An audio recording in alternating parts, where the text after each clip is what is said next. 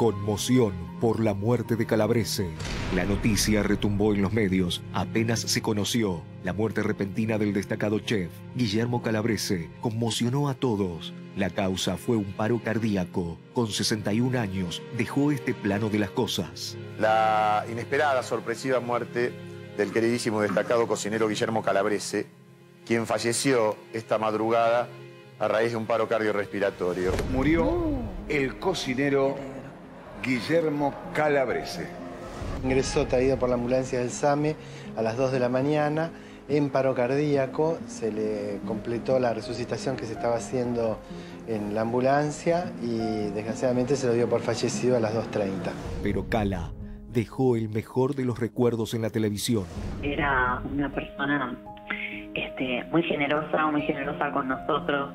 Eh, como cocineros, estuvimos, compartimos muchísimos años juntos, muy gracioso, eh, tenía un sentido del humor adentro, o sea, al aire y fuera del aire. El locro se hace para mucha gente, se hace para fechas patrias, se debería hacer mucho más seguido. En el día de hoy, el tema del día de hoy de estas clases más cristales son deshuesado de pollo. ¡A comer! ¡A comer!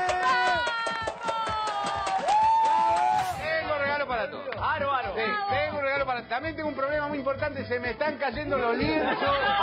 Porque se me están cayendo los pantalones. Por lo menos yo no apunto a esa gastronomía difícil que tiene que venir con traducción. Una tapita de asado increíble, maravillosa. Y esto va a estar adobado con un chimichurri. Y nos dedicamos a la confección del chimichurri.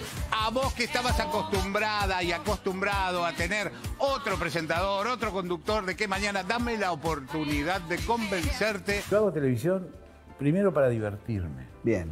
Después para pasarla bien. Sí. Era más blanda que el agua, que el agua blanda. Era más fresca que el río, naranjo en flor. Fue primero parte del equipo de Gato Dumas. Señor. ¿Cómo está? Las recetas de Calabrese son espectaculares. Él también. Él también.